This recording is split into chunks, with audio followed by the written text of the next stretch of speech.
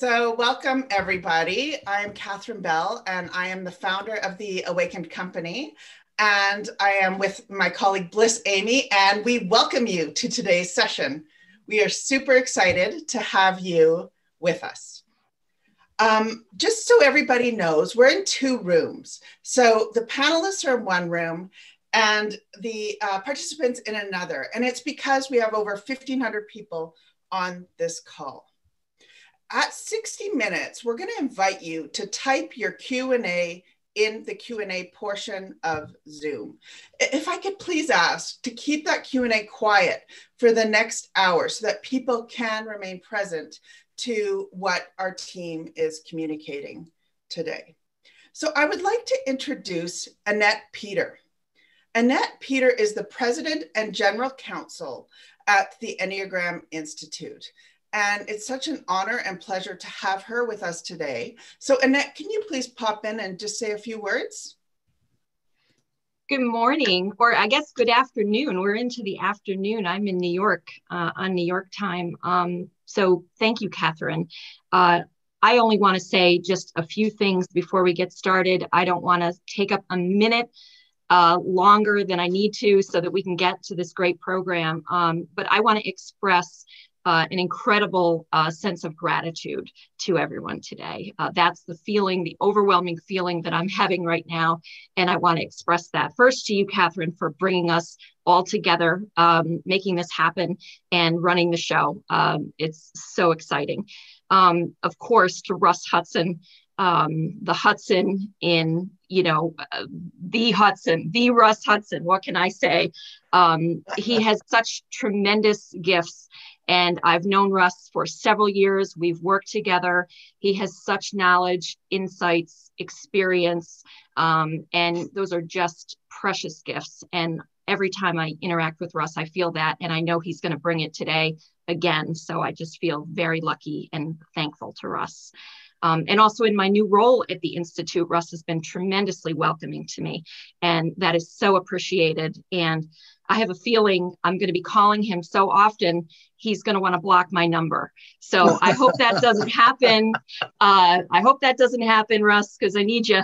But um, that's just to say that this uh, friendship, this working together collaboration um, needs to continue and needs to grow uh, for sure. Uh, and of course, to Brian Taylor, uh, more gratitude. Uh, Brian is such an amazing man uh, that I work with every day, and he's been with the Institute from the very beginning. He's got tremendous knowledge and insights to share, and I'm just so happy that he's part of the program today as well.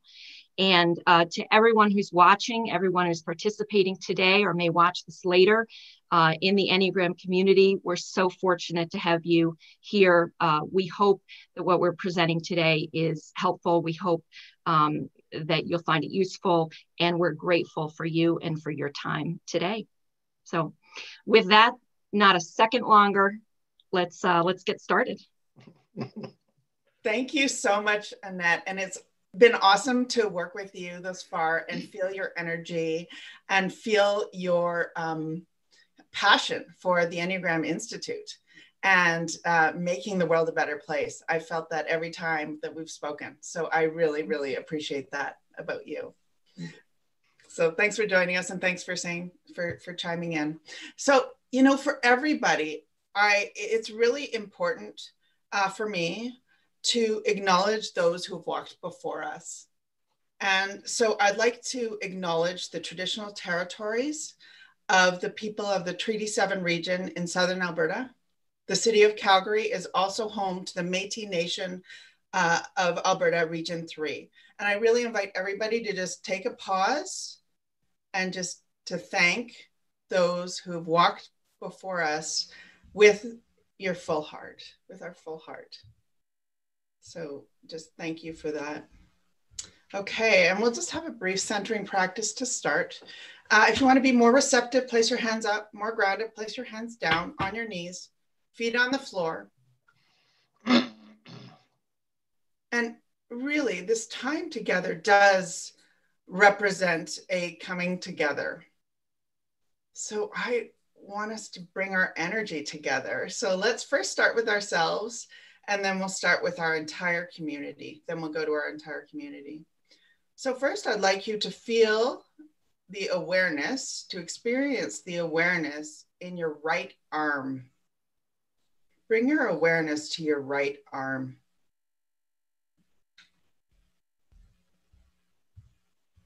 Bring your awareness now to your right leg. Awareness to your right leg. Next, your awareness to your left leg. Next, awareness to your left leg. Now, your left arm. Your left arm. Now, I want you to place your awareness on both your legs, on both your legs, and just notice how amazing it is that we can place our consciousness in different spaces.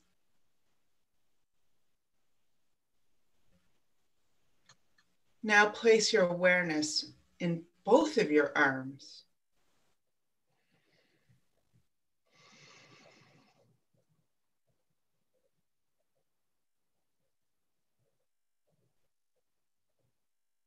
Now bring your awareness to your entire body.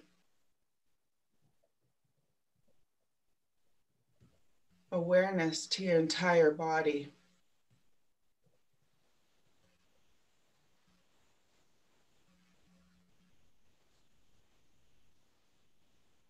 Now become aware of the field that is between us and amongst us. The field that is between us and amongst us.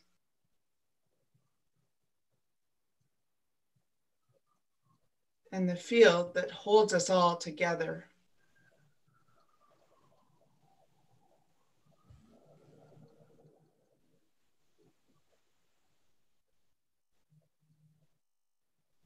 We are together right now.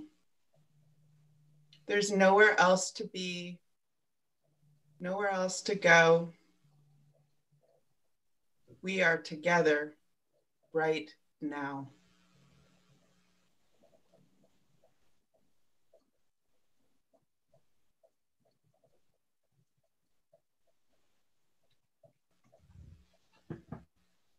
Thank you.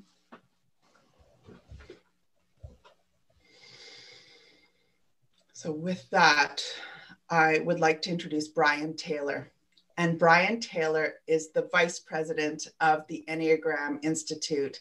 And I would say Brian Taylor has been a rock of the Enneagram Institute. And I personally am so thankful for that, Brian, because it's changed my world. So thank you. So, Brian, if you could please give us a brief description of the RHETI assessment and, and why would people want to use it? Okay, well, thank you, Catherine. Thank you for leading the, the uh, grounding meditation. And uh, thank you for putting this event together uh, with the Awaken Company and Russ and the Enneagram Institute. And I'm happy that Joey and Bliss and Amanda are joining us as well. Um, uh, I think this is an excellent follow-up to last week's session you did on COVID and the Enneagram, because um, as we're all aware, this is giving us a chance to reflect more, a little bit more about what's really important how are we reacting to COVID? Uh, what is it impacting us? What are we afraid of? What are we grateful for? There's so much to go on for. And I'd also like to thank everyone uh, for uh, everybody who's participating today from God knows where. I mean, I, I don't think I'm going to say good morning or good afternoon or good evening. I'll just say hello. And I think that and hope that this will be uh, an excellent opportunity for all of us to kind of, you know, learn from each other and to share, discuss, inquire, and grow together. Um, so on that, I, would just like to say that uh, we're discussing the RHETI, the uh, Riso Hudson Enneagram Type Indicator today. And before we do turn things over to Russ, I'd just like to share a few thoughts about the RHETI. Uh, first of all, it is not uh, helpful to think of it as a test. It's more of an assessment. A test is going to pretty much identify everything about yourself, and that's exactly what we don't want to do. We want you to begin a process of inquiry where you will beginning to, to discover certain qualities, certain attributes, maybe even some uh, areas for growth, um, and how we get ourselves wrapped up in personality and how we need to kind of have time to reflect. Um, so it's really, uh, I would say the RHETI is really intended to help us identify, you know, the issues, the uh, habitual act, uh, activities and actions, reactivities, unconscious habits that we have, and to uh, discover those and also to acknowledge and even discover many of the fine attributes that we're not aware that we have or that we think we don't have, and to see that all of this as tools for further growth. So what is the RHETI? The RHETI is 144 forced choice questions, 288 sentences that uh, gotta, are really intended to help us start thinking about who we are, what talents and gifts we have, what impediments we might have that we might not want to recognize about ourselves. Um, what it will do, um, it, it, should identify what we would call your dominant personality type. Uh, of the nine types on the Enneagram, uh, which are in all of us, which is the area where we are most fixated, where we most um, noticing where uh, our issues and abilities and talents are. And so that when you look at the results of the RHETI, you have to look at all, actually all seven, all, I mean all nine types, not just the, the, um, the dominant type and the wing. Uh, so, um, and that's how we get the individuality. So you can't say that all twos are the same, all threes are the same, and uh, the only variant is the wing. No, it's really all, all seven qualities. So before we get, before I turn this over to Russ, I just like to give a, just about three little things to keep in mind uh, during the discussion today. And also that you might want to keep in mind when you are doing, taking the test or going over the results. Um, so first and foremost, and this is an issue which um, a lot of individuals have misunderstood. We do get calls at the Institute where people are asking questions about how to interpret things. Uh, and that would be when you take the test, you'll come with a conclusion where you will think that the two highest scores are respectively your dominant type and your wing. So we have people calling in or saying that they took the test and they're a five with a one wing. Um, and we're just kind of scratching our heads about that. So caveat number one in looking at your scores, your two highest scores are not necessarily your dominant type and your wing, though they might be. Second, and this is also important, once you have your determined your dominant type and wing, don't stop there. Don't just say, well, I'm a nine and you know, that's just the way I am and I can't change. Um, no, um, I just say, uh, take out your suitcase and pack your bags because you're about ready to go on a journey of finding out more about who you are and how you're going to grow. And third and finally, I would say you may in the process discover that you have come up with your dominant type. And then after several months or uh, reflection on it, you might say, I've mistyped myself. I'm, I'm not that type at all. Well, that's not uncommon, and that's actually a good thing because you can uh, begin to let go of identifications that you might have had when you took the test and that you felt had influenced uh, your answers or you were answering um, for various reasons how you wanted to be. And Russ will go into this uh, in more detail later.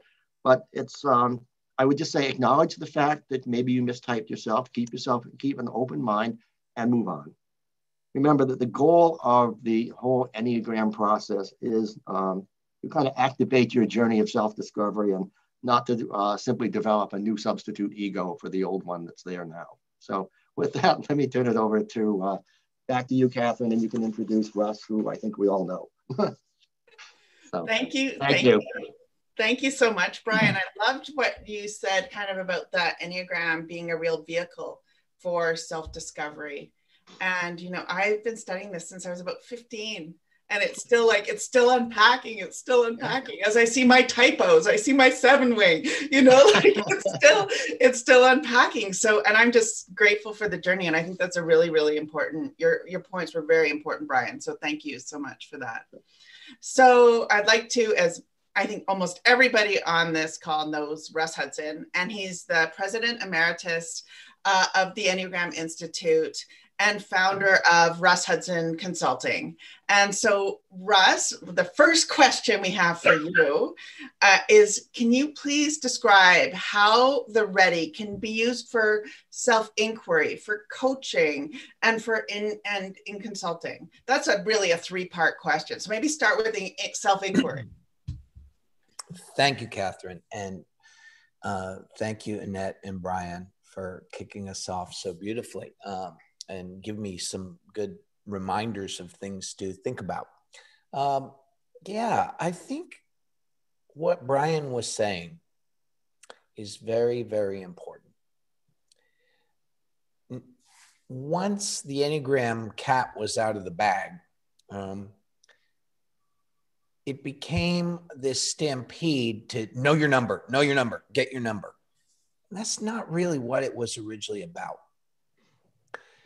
Finding your number was a journey, as Brian was just saying, of learning yourself from the inside out. Really getting a deeper, intimate, contactful self awareness that actually is very rare in the world. One of the reasons people have difficulty with tests is because they don't know themselves very well. That doesn't mean there's something wrong with them. That's just what the world at this stage leaves us with.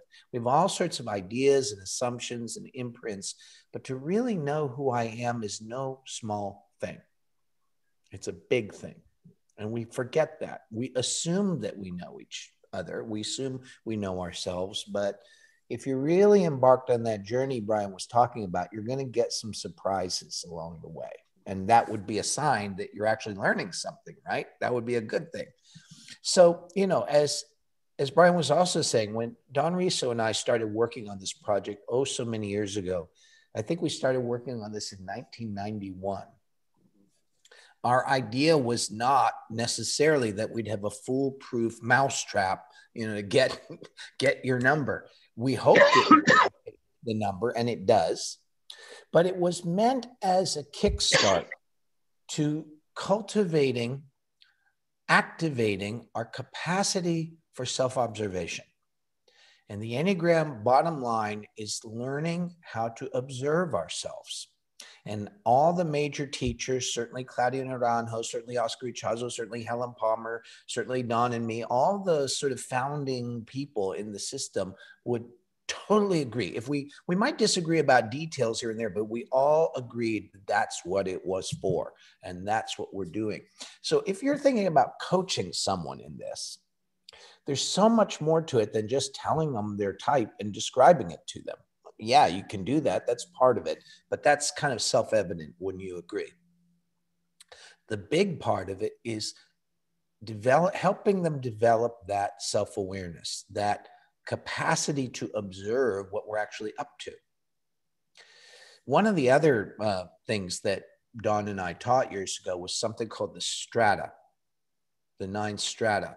And it's relevant here. Um, uh, we, some of you who may have studied with us or with me subsequently learned this, but the idea is that as you come online, so to speak, as you get more present, more awake. And let's remember that the Enneagram is a tool to cultivate our presence and awareness.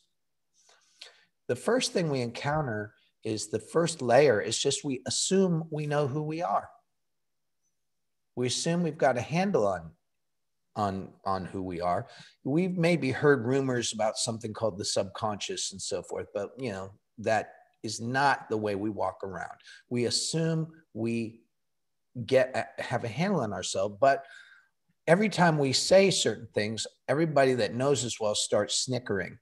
They start giggling or laughing because we have delusions. We don't get the picture of who we are very clearly. But if we're sincere if we really want to know ourselves we start to discover contradictions. We start to see places where what we think we do and what we actually do don't line up. So the second layer is you start to see what you're actually doing, not what you think you're doing.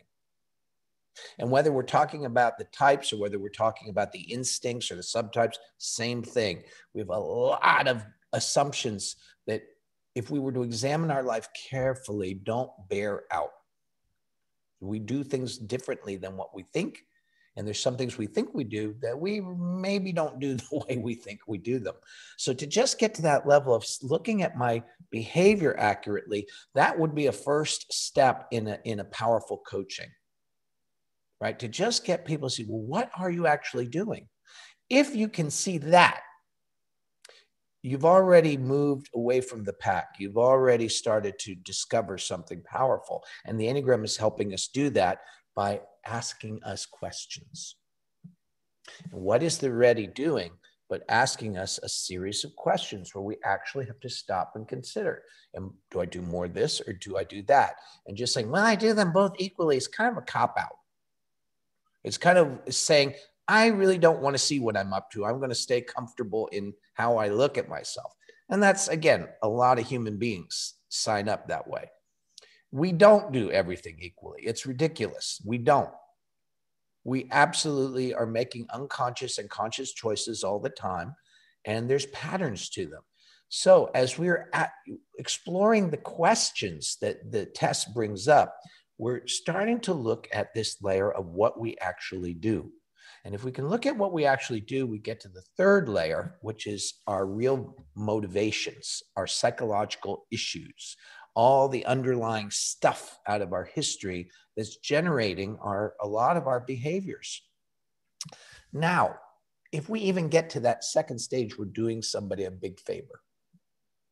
Because not many people ever go even to that point, and even fewer to the level of seeing their their dynamics, their psychology, their motivations.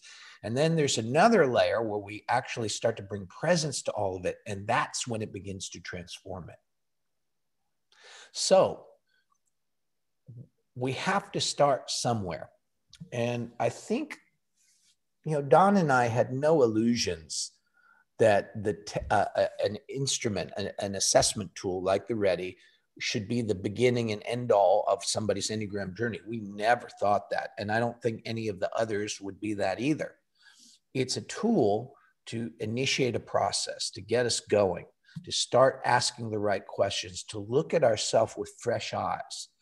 I also think for those of you who are coaches and counselors and so forth, that that's a great thing because the RHETI i think or any assessment tool is most powerful when the person who's taken it can discuss it and get some feedback and bounce things off someone who has had the opportunity to work with them see them observe them.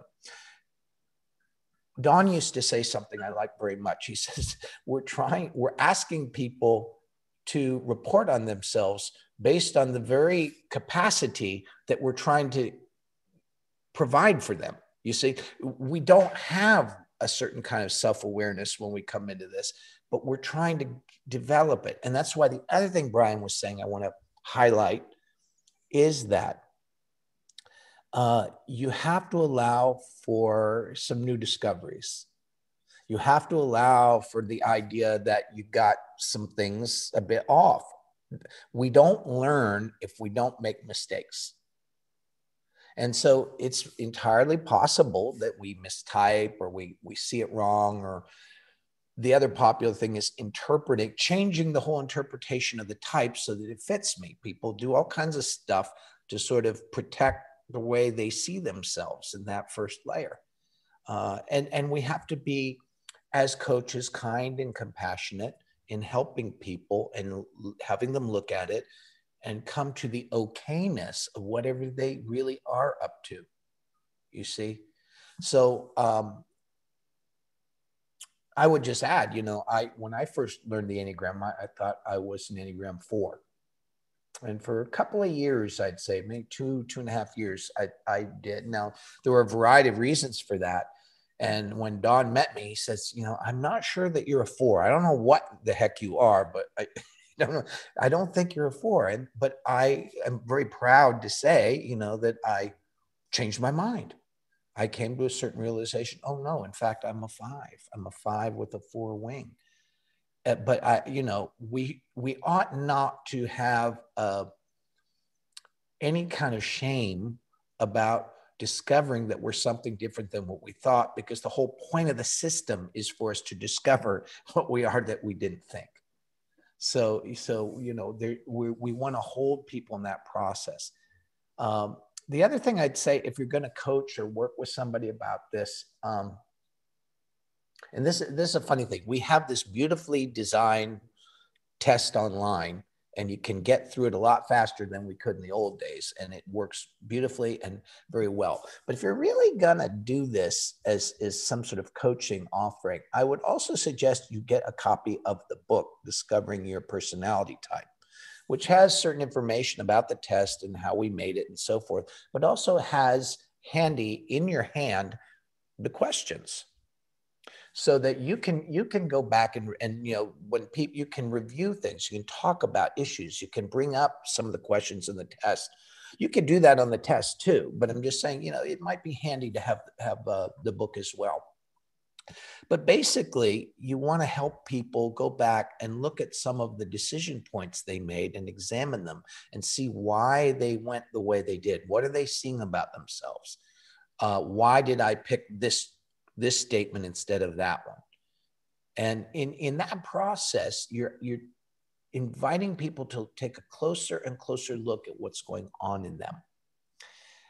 Often, we're also uh, uncovering ways we have ideas about ourselves that are defending against seeing something about ourselves. And that's what the Enneagram's for. So, you know, the, the whole thing, if you think of coaching people with this tool as, as a way of initiating a really rich and even long term conversation about what's going on in them, you can mine a lot of stuff from it. And there's other things I'll say about that. But that I think that's a good place to start. And I really wanted to give everybody a sense of how I think of using this instrument. Thank you so much, Russ. We've had a lot of questions about when people get their RHETI results, how how to interpret them. You know, we've had a lot of questions about that. So if you could please illuminate some some points on that for us. Well, again, Brian gave me such a beautiful, uh, you know, start here. He, he hit a lot of the key notes. Um, one thing is, you know, the test supposes that your dominant type will come out likely in the top three scores you have. It may come out as the, the highest and often does, a significant percentage of the time. But almost always, we're, we're very high percentage, it'll be one of the top three. But I, uh, again, in the lines of what we've been talking about, I would really recommend if you've got three different scores, they're not necessarily your type and wing. They're not necessarily your tri type. You know, there's all kind of different theories out there. But remember too that when you take the test, you're not necessarily getting who you are you're getting a, a snapshot of how you see yourself at that time. You're getting a, a picture of your self reflection. Okay. So now that means if you take the RHETI and you do some coaching work and exploration and you take it again, I will bet you uh, some of your scores will move because you start to learn different things about yourself. You see yourself differently. So the test, and this isn't just the RHETI, it's any test that depends on self reportage. It cannot be more accurate than our self knowledge. We do our best to trick you. we do our best to sort of not make it obvious. And, and there were a number of things about that in, in just, for example, in each paired set of paired statements, Don and I worked very hard so that roughly half of the types would pick one or the other. If we had a question that only one type would pick that and the other eight would go the other way, that would create a distortion in the overall test. You'd get a false positive on that other one and it would skew the results. So there's so many more elements to it than what you might imagine. Um, in any case, um, interpreting the test the, the, other thing I would say is that, again, as Brian was mentioning, one of the cool things about it is your results are not just what's the highest. Again, finding your type from one point of view is kind of the booby prize. Finding your type is the beginning of the journey, not the end. It gives you a launch pad to begin the, the process of integrating your psyche and, and coming home to yourself. It's it's a it's a long, lifelong journey. But what you get with the RHETI beyond just what your dominant type is, you get kind of a map of the lay of the land for all nine points. And I find that really helpful. For example, you know, if I take the test and, you know, maybe my five comes up high, my four comes up high, some other type is up there, but I notice it's only got a, a three or four points in the nine, that tells me something. So if you know the Enneagram types and what they're about and what their values are, then the low scores become just as important as the high ones. What is dropped out of my life? What am I ignoring? What am I not dealing with? Is just as important as what I'm obsessing about.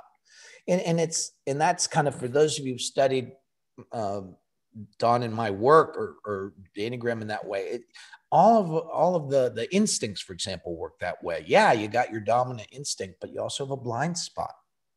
We have blind spots, so to speak, around some of the types where we just don't get it, don't see the use of it, and we don't allow that in our life. And a lot of coaching often is about that. So, for example, if I had no nine, I do not know how to chill out. I don't not know how to relax. I don't know how to take it easy. I don't know how to just sit in myself and restore my groundedness. That's a big deal.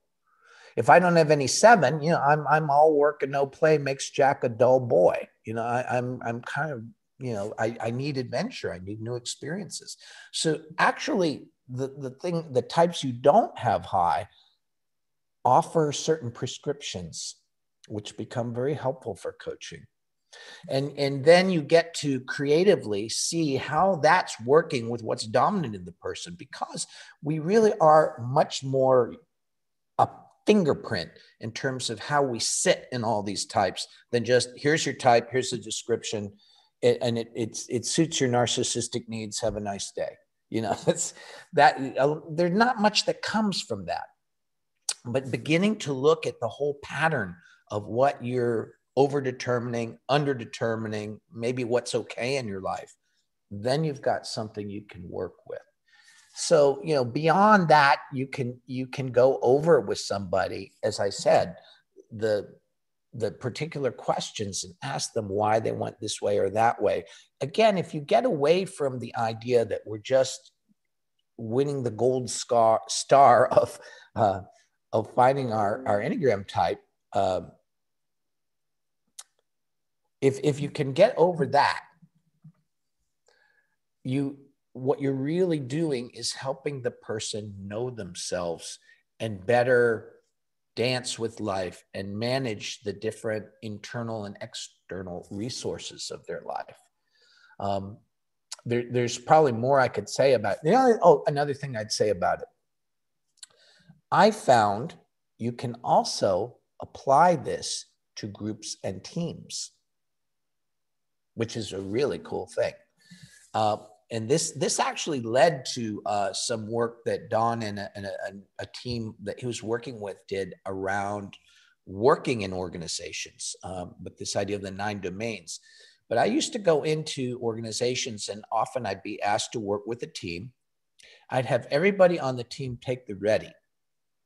But what I did is not, oh well, Freddie over there is a three, so he's going to do this, and and and and uh, Susan over there is an eight, and she's going to do that, and there's there's uh, Mike, and he's a one, and he's going to do this. No, that's not what I did.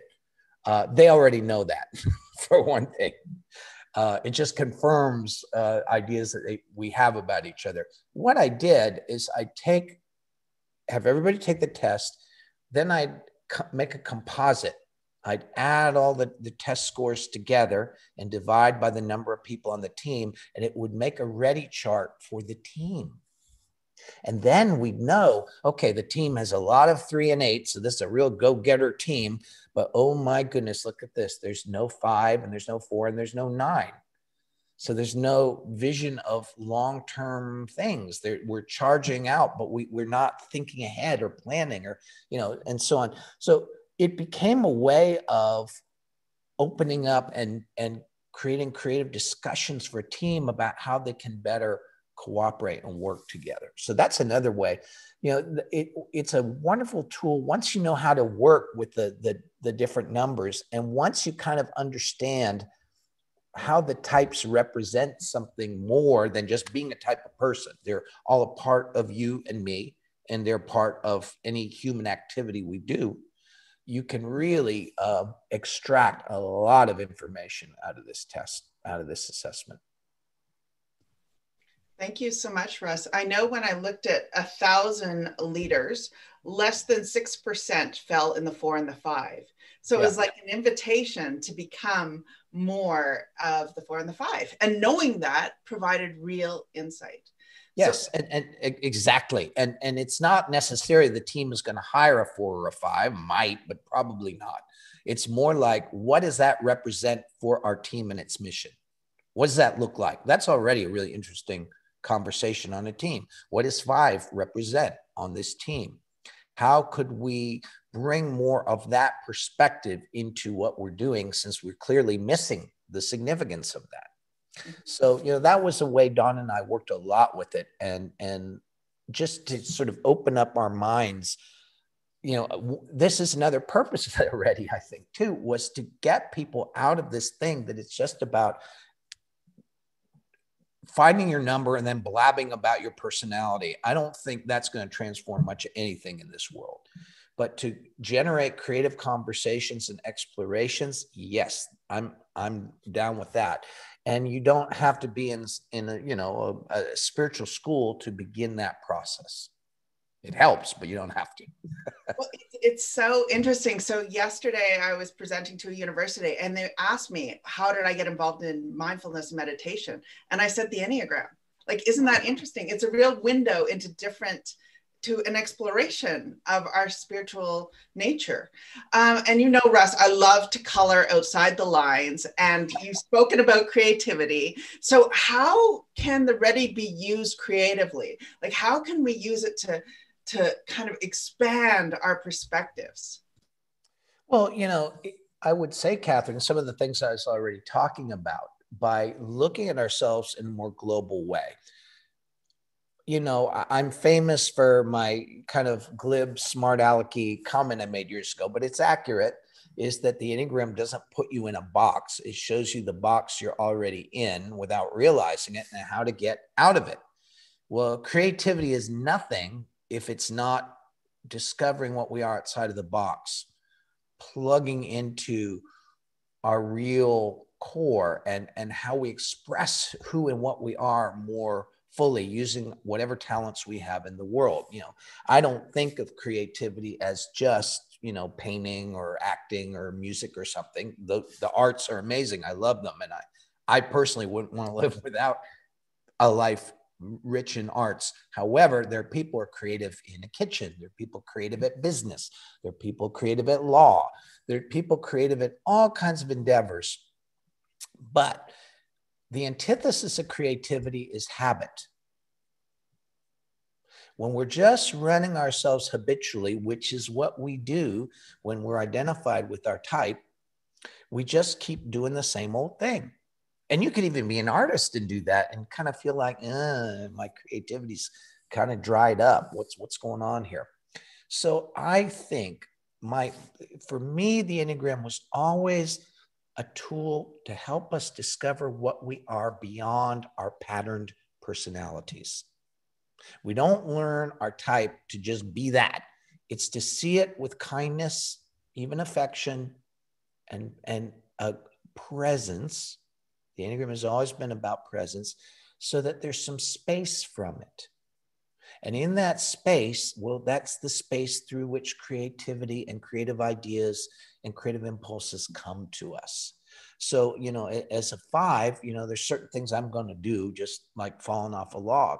But I, I had to learn little things like, you know, if I cut myself off from human interaction and contact, my creativity dries up. I become just this habitual, isolated guy with this head full of this, that, and the other thing. But in it's always the Enneagram is always showing us something a little counterintuitive. That what we need to do is probably what we don't feel like doing, but when we do it, suddenly things open up for us. And so the RHETI is just a, a marvelous way of, of showing us the assumptions we have about ourselves. And as I said, starting to reveal the behaviors that we actually are doing and maybe doing very repetitiously. And as we see that, as we start it. And especially if we have somebody to work with on this, a peer or a coach or whatever, and to talk about it. That in itself, I think, opens up all kinds of new creative channels. Things get juicy again, things get interesting again. And you start to find resources in yourself that you had forgotten you had.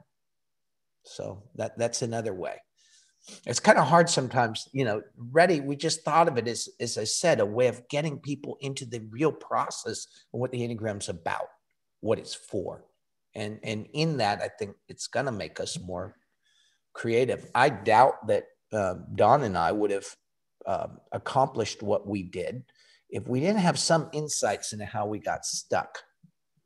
I, I can tell you, you know, uh, Don used to tell the story often of as a four, he would get he really had to use he knew the enneagram well enough and he knew he needed his one and he knew he needed discipline and structure even though he didn't feel like it he if he didn't do that he wouldn't his books would never have been written and so he committed to certain disciplines through which he he was able to get outside of the box of his fourness and and bring into the world what he did Another thing he did was that he, he didn't always feel like it, but he was a runner. And he knew, in some sense, in his fourness, he'd get out of touch with his body. So he'd commit to running a certain time, number of times a week. And in doing that, he was helping himself get out of the box. So this ties together really all the questions we've asked, but but it's how the insights that you extract from the test and that can again can be as much from what is low as it is from what's high in the test starts to give us ideas of how to get out of our own box so so true russ so what would you suggest the implications of the RHETI are for personal development and spiritual growth. And I'm meaning in a real life way and maybe walk around the different types for us. Like it's all about being in the world. We're in the world, you know, being in the world. Well, I think that, you know, that part of it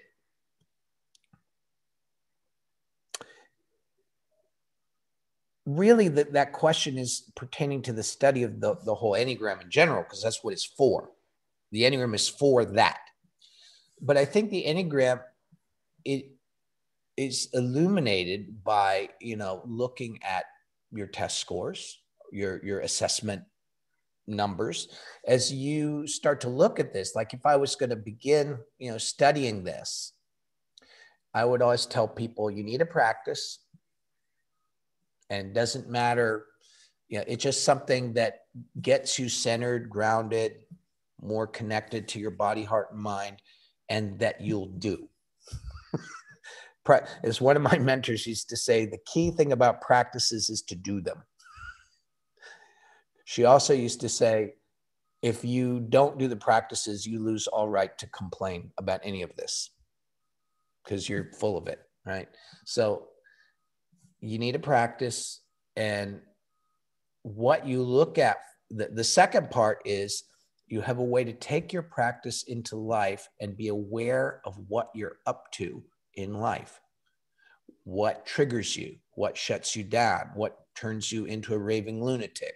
What makes you regress to a two year old, etc.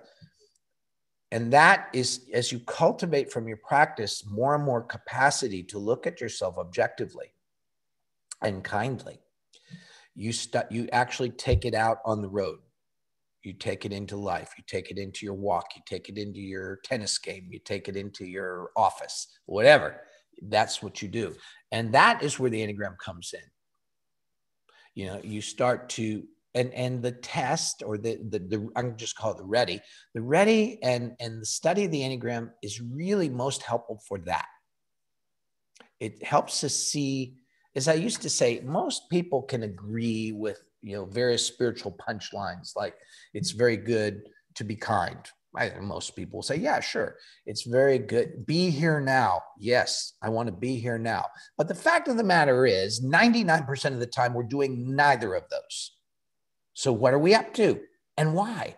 That's where the enneagram comes in and that's how it supports our spiritual journey. It was designed uh, actually originally for people who were living lives in contemplation. They were, um, you know, people in religious life, people who were praying and meditating. And it, it, began as people studying what distracted them from being in a more ongoing and integrated spiritual awareness. So your type in that view wasn't the final say of what you are. What you are, who knows, is a mystery. It's something profound. We, you know, but there is a, a way that we're formatted to operate in this world. And that formatting is more where you're going to see your Enneagram type. So it, in that second component of just seeing what we're up to in our life, taking our meditation and our spiritual life into our life requires being aware of what we're doing and what we're thinking and our emotional reactions to things. And that's a lifelong journey, it goes on the rest of our life.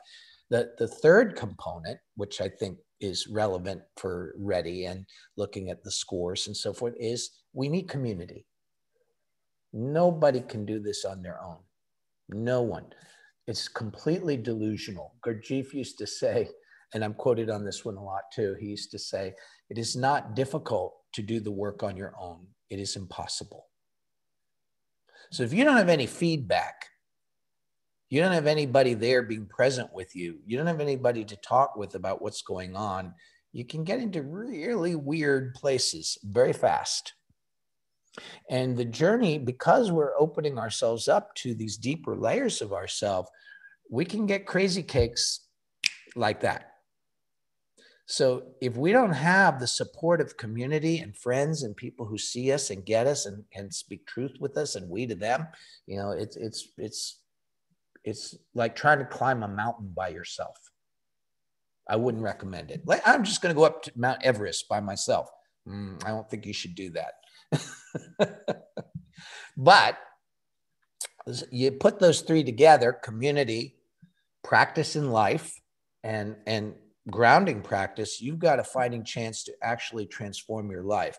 And our, we write the books and we write and we created this instrument from the point of view of trying to give people a, a kickstart and a, a launch into that lifelong journey. And then you learn all kinds of things along the way and you you can be fed by a lot of different sources but to to actually begin that process it it's it has to begin with seeing what we're up to, what the, the self that we don't know.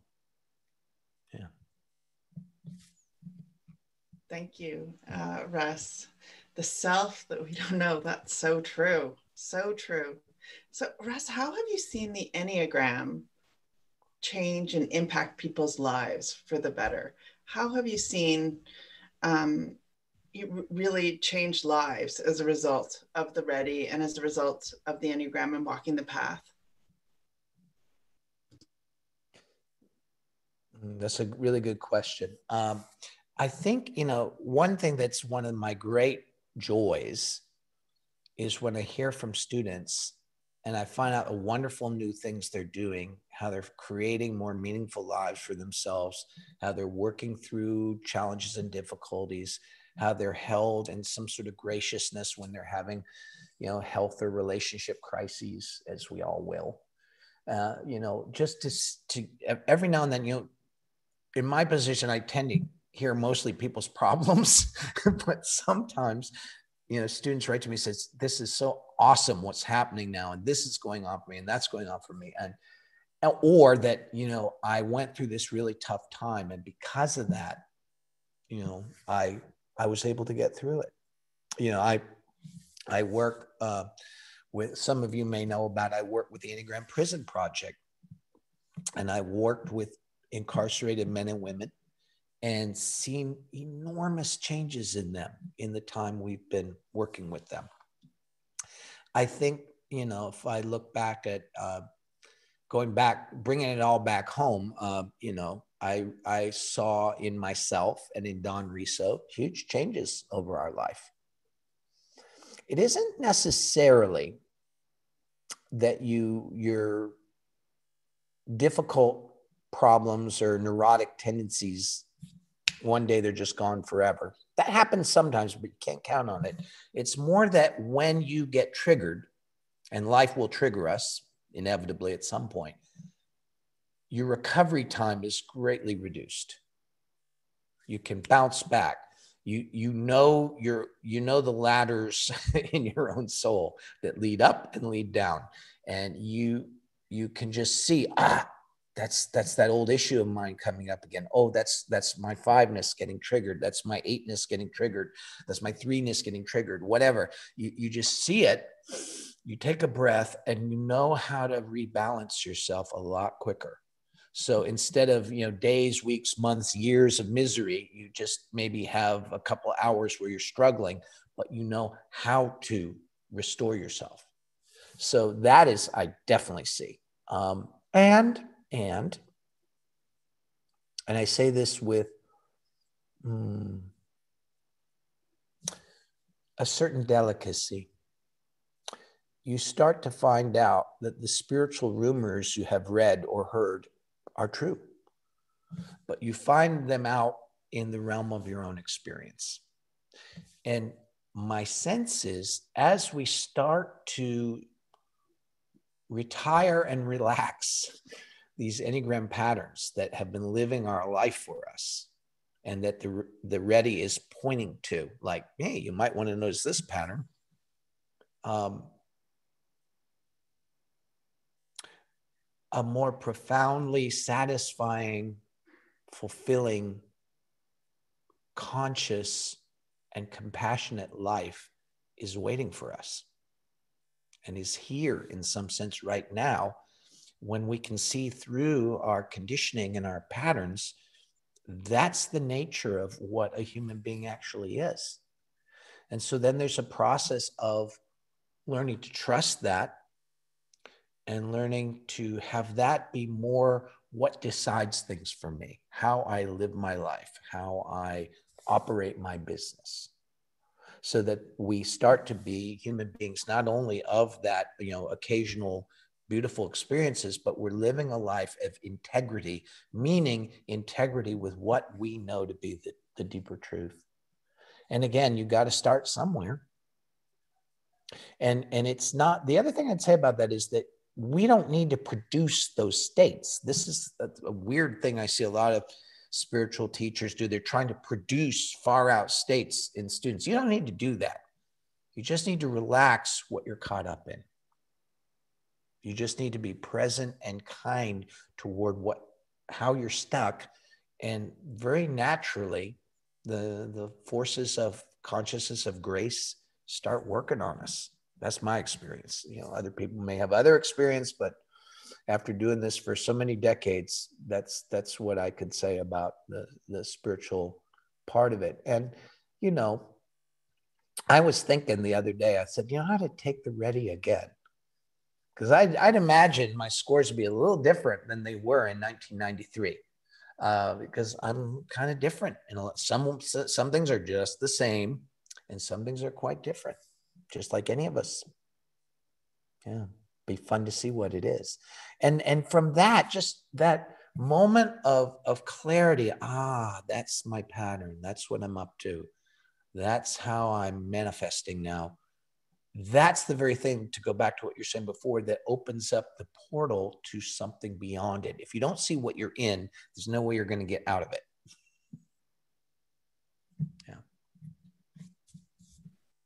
I know uh, for me during this time, Russ, there's been a certain holding that I have never experienced before.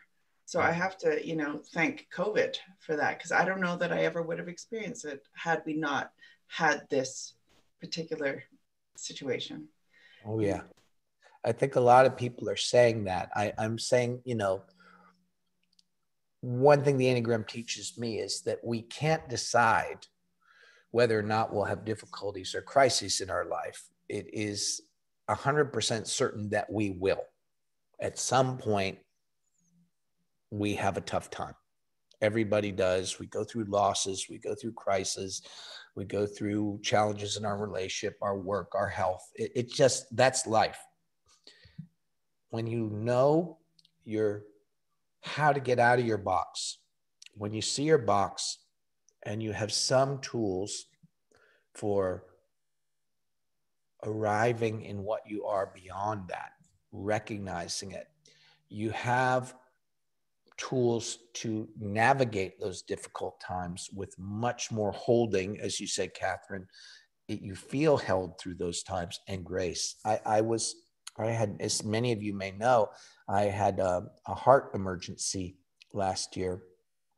I was in Paris uh, getting ready to teach, and in the middle of the night, uh, my ticker started to go wrong, and I was I, I had all the symptoms, went to the hospital, and I spent, you know, like 10 hours in the emergency room on a gurney with all sorts of, you know, IVs and wires. And, you know, it looked like Frankenstein. You know, I couldn't move in massive physical pain. And what I knew is my beliefs in that moment meant nothing. If all you got is beliefs, you're dead in the water spirituality isn't about beliefs, it's about what you know in your experience. And after many, many, many years of doing this kind of practice and work, I was able to just land in myself, even though I was in pain, even though it was, you know, possible I was going to die in the next couple of hours. But there was a graciousness. I knew how to open to that deeper dimension the pain was still there the difficulties were still there but there was something bigger than all that that was there in the core of my experience so i'm telling people that by learning to live in what we are outside the box day by day even as our goofy personalities continue to do whatever the heck they do that something else grows in us and that is the part of us that you could say the spiritual self the soul whatever that can be held and gracious and hold the line through those tough times. And i agree this this epidemic that the whole world is going through now is an opportunity if we use it that way to find the steeper ground doesn't mean it's going to make the journey easy. No one promises that, but that we will have something else under our belt that helps us deal with these challenges with dignity, intelligence, and heartfulness. Thank you so much, Russ.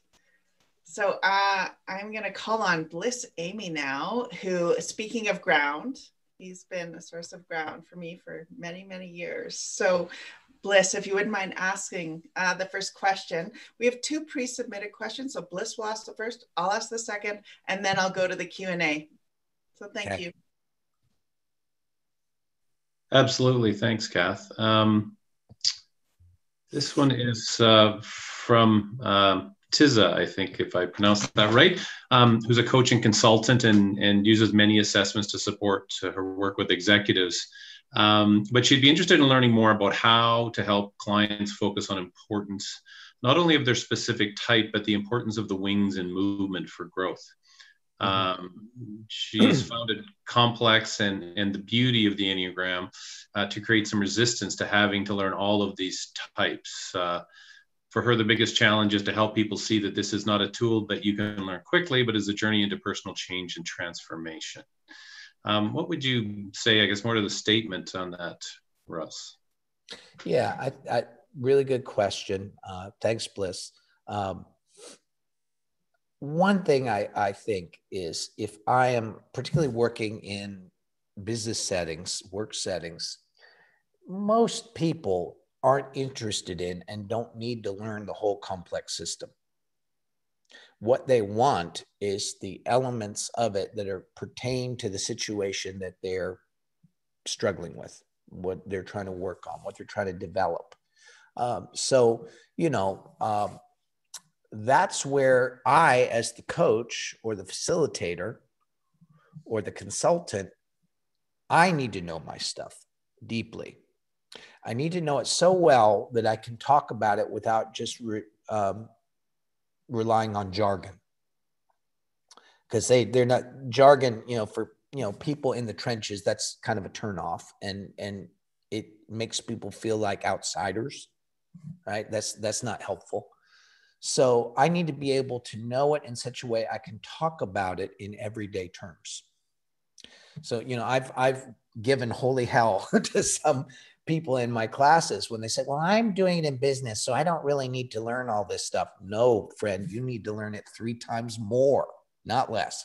You need to be so masterful at this that you can use all kind of different metaphors or extract particular pieces to provide for your client.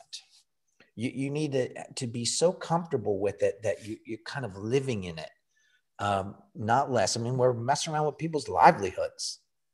Uh, it's not superficial. It's not a quickie. I think that's one of the personality structures of our time that's kind of pathological, actually. Hey, these are the organizations running the world. We don't need to really know ourselves or do this. Let's just give them the most superficial version. No, they don't need to know the whole, the whole system, but they do need to know the part that is important for them. So vis-a-vis that, if you figure out your client and what their wing is, you know, so forth. You're talking about that in human terms. If you're talking about the inner lines, you're talking about them as growth opportunities. The inner lines are both shadows, they're what we don't like to see about ourselves. You know, most, uh, uh, you know, I don't know, most uh, nines or, you know, and three and six, right? We don't like the other two. Like, I don't want to, if I'm a six, I don't want to be a narcissistic person so that it blocks out the three energy and i don't want to be just hanging out that the nine energy but actually both of those represent something I need. As a six, I need to chill out. I need to get grounded. That helps me when my mind is going. I, as a, I need the three of the valuing of myself and my life and the, the preciousness of what I'm offering, what, how amazing it is that I have the talents and skills I have. So, you know, I'm, I'm talking with people about it. If I'm coaching people, I'm not necessarily talking about the jargon and the numbers and all that. I'm using it to talk with them in a human way about things that open up the journey for them. So that that's the the main thing I'd say is that of course your client doesn't want to know all this stuff. If they do, then great, you teach it to them. But many people don't, and and they don't need to. They just need to know the part that will help them in their journey. Yeah. Thank you, Russ. So the next question is from Michelle Cooper. And here is her question. I recently did my RHETI and scored equally on the eight and the two. A bit of an identity crisis, as I had taken the RHETI course about 20 years ago and self identified as a three all of those years. How can I best interpret that result? In listening to the points and reading the daily Enneagram items, I certainly see my eight and people see me as very relationship and heart focused. Russ, I would love to hear your thoughts. Well, of course, I don't know what your core point is, so I can't comment about that. Um, but I just say, even if the RHETI, it, it, remember what I said, it shows us how we're seeing ourselves at a given time. So we could, what we can construe is that since that time where you first took it, you were in a certain modality, a certain way of being at that time that was looking pretty three to you. Now there's something about energy, directness, leadership, empowerment that's come up into your psyche. And the two, as you pointed out yourself, your interpersonal connectedness, kindness, all of that, that's really up for you. So it's just telling you that these are themes emergent in your life now. Now, are one of them your core point?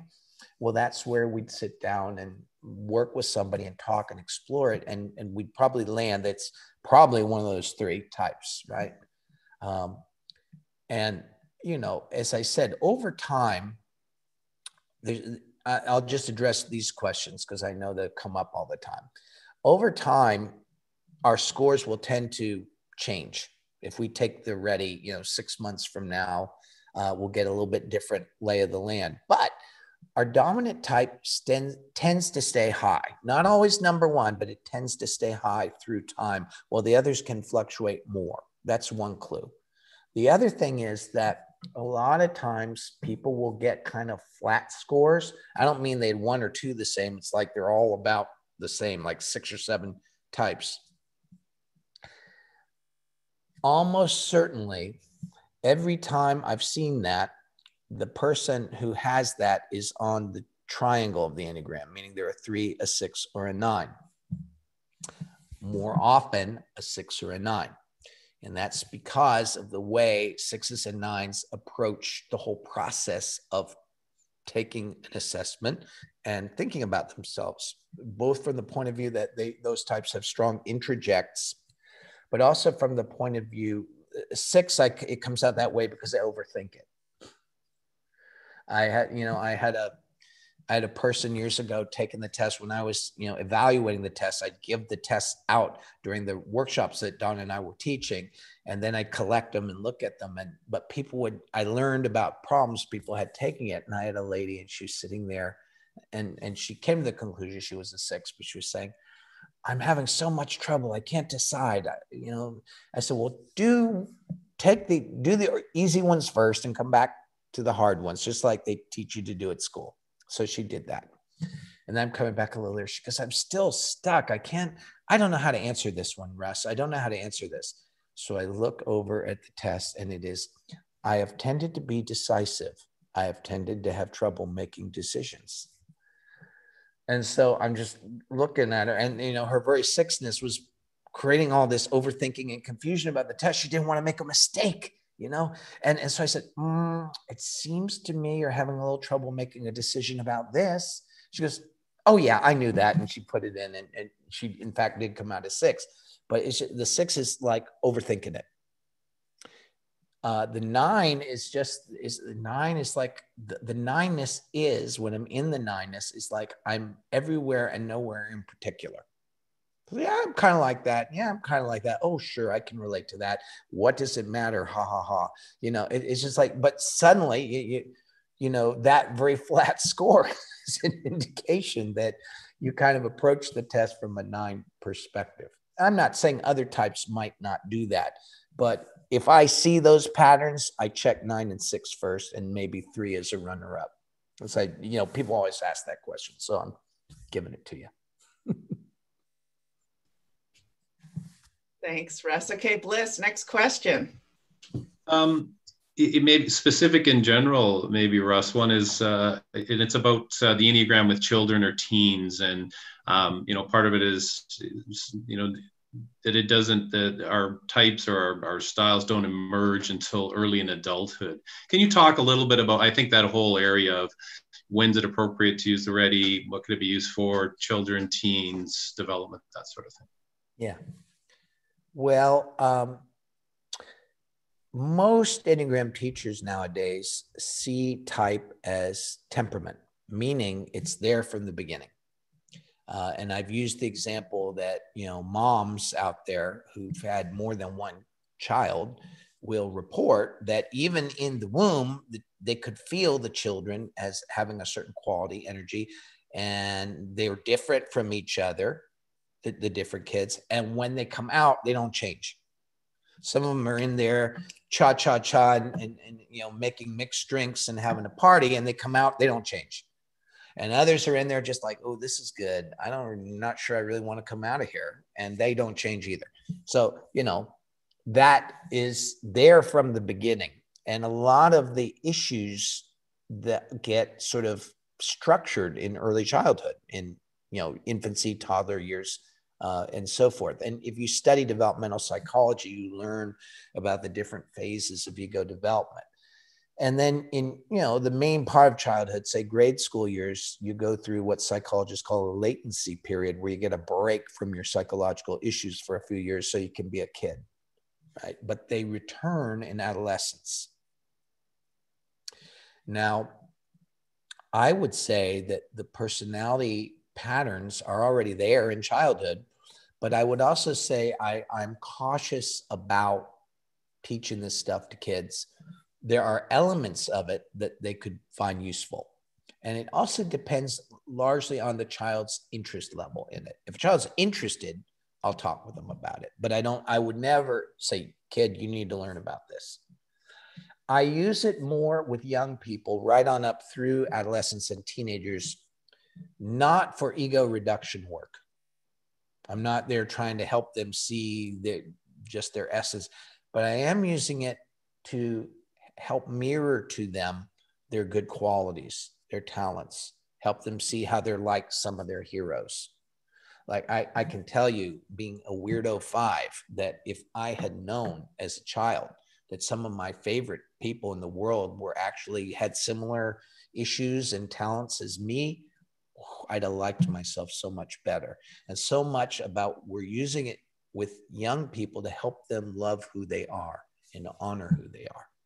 They don't need ego reduction yet. They haven't fully formed their ego. So you don't want to mess with that process. But you want to help them see the good in them. And I think when we use it that way, it can be very helpful. I, I remember I had a, a little child, as a young man who's an eight, clearly so. And he was, you know, six, seven years old. And he um, didn't have a dad at the time. And for a little time, period of time, I functioned as kind of a male figure for him. But just knowing that he was an eight led me to be able to interact with him a certain way and made it safe for him in his eightness. And I mirrored to him how great his qualities were. And I, it was fun because I got to run into him as an adult in the last couple of years and he's turned into an amazing young man and he acknowledged he remembers says i remember you you were really cool with me so i'm just saying we it, it's as much a help for us as knowing how to be with kids as it is for something to that they need to learn about or you know, you understand what I mean? It clarifies the relationship with the child and it helps us help them see what's awesome about them. That's what I would say. Thank you, uh, Russ. And, you know, uh, John's a five, and he recently chose himself to kind of discover uh, his type, and he used the RHETI through to do that. Oh, uh, great yeah, so it was really, it was very interesting to talk about it with him. So we have a question from, so go ahead. Do you want to? I'll just say vis a vis the RHETI, you know, that goes down to what I'm saying. I wouldn't give a little kid the RHETI necessarily, but teenager, if they're interested, sure. And it might, it could, it would lead to some really interesting conversations again about their self knowledge and valuing who they are. So, yeah. Yes. Okay. Yeah. Thank you. So Marin McHugh uh, has a question. Hi, Marin. Is it possible for someone to have all wounds from all nine types that still need to be worked through, like samskaras, one wound after another that when heal, healed leads to the next layer and wounding until eventually one's, one lands in integration and wholeness with the ability to flow through each type with ease and choice? Yeah, I mean, it, the short answer is it's kind of like that. Um, when we can get out of the confines of our own fixated pattern, we'll start to encounter both the helpful energies, qualities of each of the nine points, but also the issues. I have no direct line to two, for example, on the Enneagram. However, um, I can see some of the issues of two, as but I had to get out of my fiveness to some degree to be able to see that. I can see my where I get codependent, where I get needy, where I tolerate bad behavior in order to keep a relationship going, all that stuff. Um, but I also can see and start to recognize the holding and the, the loving and the heart connection qualities of two that actually help me be a better teacher, a, a better person. Um, so you know, but it as you break out of the box, it's it, it's not necessarily in some pre-described sequence, but the various major issues or challenges that you have, places where you get stuck, will begin to present themselves. One thing I tell my students all the time we have breakthroughs and we think, oh my God, I'm there. I'm enlightened now. I'm in the light. I'm in the love. This is awesome. And we think we're done. No, because love will always move toward the next boo boo. And we're all a lot crazier than we think we are. And so, as that light and love, which is real, gets liberated in us, because it's love and because it's kindness and compassion it goes right to the next point of suffering and then works on resolving that. And and we're all kind of unique in what they come out but the more you know the way these operate and the war, way they're connected with our deeper essential qualities you might say the more graciously and expeditiously you can move through these processes. But you know the the spiritual world is full full full of people who have some initial breakthrough and then lose their minds because they don't understand they're not done yet. They're far from done. Realizing your nature outside of the box as i keep saying and as brian said at the beginning is the beginning of the journey not the end. You, you're a baby in the work if I had a dollar for everybody I'd met who's had this experience and think they're masters, they're babies in the work. They don't get it yet. But it is, as you said, there's a long journey of integrating and dealing with this. And then you don't get these kind of gurus who are preying on their students and stuff like that.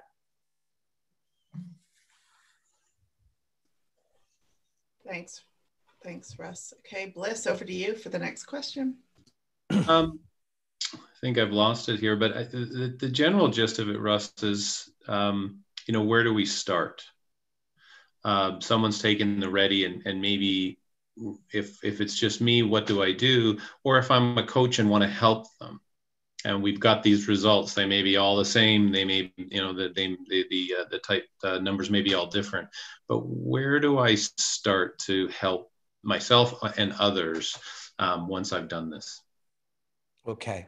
Uh, well, for myself, um, it, they're a little different. Uh, if it's myself, I, like I said, I need to have a practice. Maybe I already do, but it's it's bringing the awareness that we cultivate in practice to bear on the patterns. And the RHETI is going to help me see some of the key patterns that operate in me, as well as the elements of me that tend to drop out or that I reject or or suppress. And to begin to see those patterns in life, every time we are present and kind toward the manifestation of one of these psychological patterns, it creates a kind of alchemy. And in a way, we digest that structure. It's like we absorb it and it, it and it liberates the energy that was held inside it. Like the patterns are made out of you know, human energies, human forms of consciousness, but they're stuck in a pattern. As you see the pattern and hold it in kindness and awareness, and all the contemplative traditions talk about this. It's it's and to put it in kind of Western religious terms, it's like it's like offering it up to grace. And in that process, great by some magic, by some grace, it is transformed in us and becomes a usable energy. So that, that's just an ongoing process. And the more we know our patterns, the more we learn how to spot them in real time. And then the work begins. And I would also say if you can find some people to work with, uh, a group, or even it can be just two or three people, but people you trust who know how to show up, know how to be present, know how to talk about these things, you're on your way. If you're coaching about this stuff, I would also say you really need to know your stuff. If I'm going to presume to tell you about your Enneagram journey, I better have taken it. I better be on it. Uh, I never think of any of us, I certainly don't think of myself as an end product. I think of myself as an older brother you know, I think of someone who's been a further along the path up that mountain. And I can tell you, you know, you get to that part there, watch out, it gets a little slippery and there's some boulders here. And then you're pretty smooth sailing for a bit. I can tell you that kind of stuff. But it's if you're going to coach, do your own work. Know the Enneagram from the inside out. Know the RHETI very well. Know what it means to have these different elements in play have life experience that you can share with your client because it's not it's not just knowing some terms and frameworks that actually is going to be the way we're going to support people with this material. It's inviting us into a much deeper and real layer of human connection and communication. And so if we can do that, that our client is going to respond to that. We it's just like little kids. Little kids don't learn from what their parents say. They learn from what their parents are. Right? Well, everything I think about my mom and dad, all their real good qualities went into me. Half the things they said, I just that's nonsense. I'm not going to believe that. Right. and you remember what it's like to be a kid and a teenager. And yeah, yeah, yeah. But when your parents are communicating to you from something real in them, you always know it. And that's the stuff you took into your heart and soul from them. That's the same when you're a coach. So say that. Okay, so probably our last question, Russ, and that's from Mark. What do the inner lines of the Enneagram mean? And I just, before you answer that, I'll repeat the question. We have so many questions that I just want to say thank you and stay tuned because we'll see what develops from this. But I see it, there's a ton of questions, Russ, and I'm getting, there's just a ton of questions. So, Russ, inner lines, what do they mean? Big topic. I'll see what I can say about it in a few moments. Uh, you know, I could do a whole workshop just on that, and I have. um, you know, there was a long exploration about this, and it's evolved over time. You know, when when Don was first exposed to this material in Jesuit circles, the idea was that there was a good direction and a bad direction. But as turned out, as we looked at it longer, it became clear it doesn't work that way uh, Jesuits essentially were trying to use the arrows to account for vertical movement. And so when Don brought forward the levels of development, that handled the, the vertical part of it. The arrows were something else.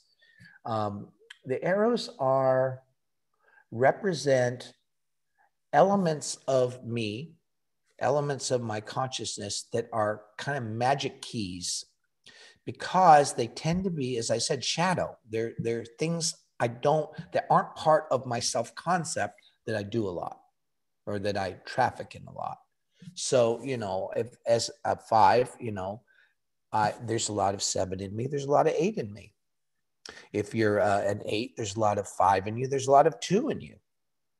However, we don't quite see accurately those parts of us if I'm an eight and I'm thinking I'm all independent and you know I'm my own person and I'm not dependent on anyone except I'm a sentimental wreck with around the people I love and I get possessive about them and I have all these kind of two issues that I find icky, but there they are. Right. And if I'm honest, I start to see that go, oh boy, there it is. There it is. You know, uh, I, I, if I'm a, you know, a one, you know, I, I, I don't like to think that I'm like those sevens all over the place, just doing whatever they want. I'm a responsible person, but boy, do I want to run away to the circus and and get free from all this responsibility and just go a little crazy for a while. And and if you can own the shadow parts of these, if you can see how you're acting out behaviors from those two directions, and you do them in different circumstances, but I don't have time to explain all that today.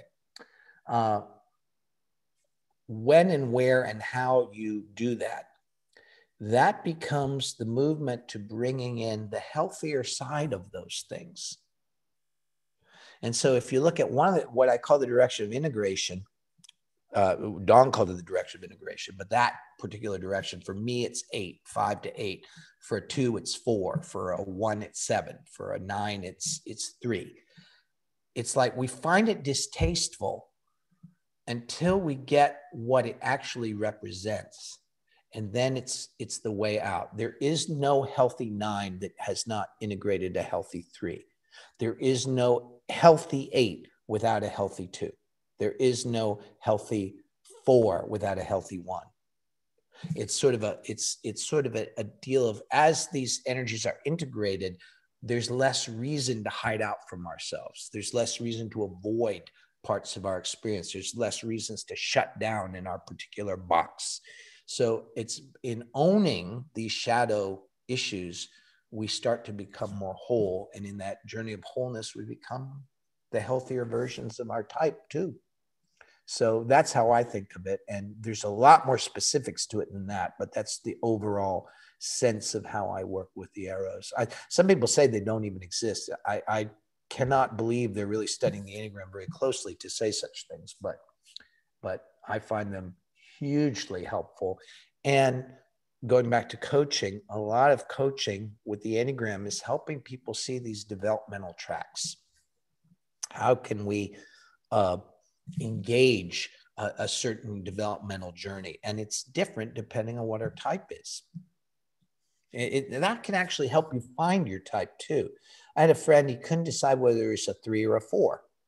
And he got feedback that he was a four. And I said, uh, no, I don't think so. and he said, why? I said, well, are you all over the place with your emotions and you, you, you just got to kind of feel like it to do it? And you need to cultivate in you a kind of discipline and integrity to sort of balance out your emotionality. Well, that would be the four path. Or is it that you work very well and you can get a lot done and you do get a lot done, but you're trying to find a deeper purpose and a way to plug into something that's bigger than just your self interest. Is that your journey? And he said, Okay, you got me. You know, this is clearly was a three, but it was in understanding his journey that it made sense to him. It wasn't just describing traits to him. You see? That's where, again, where the Enneagram is useful. It helps us see a, a path for us and that and the RHETI can do that both from seeing our dominant type but also seeing other areas that might need our loving attention. Thank you so much russ. That was uh, amazing totally amazing. And this you know isn't this technology amazing? Here we are. We're all in different spots all around the world and we're together. Like that's amazing truly amazing. So i want to thank first of all, everyone who's listened, everyone who's participated, everyone who's been here with us. And, and Russ, thank you. Brian, thank you. Annette, thank you. Joey, thank you. Amanda, thank you. Bliss, thank you. So, love to everybody. And just my heart is filled with gratitude for all of you. So, thank you. Bye for now, everybody.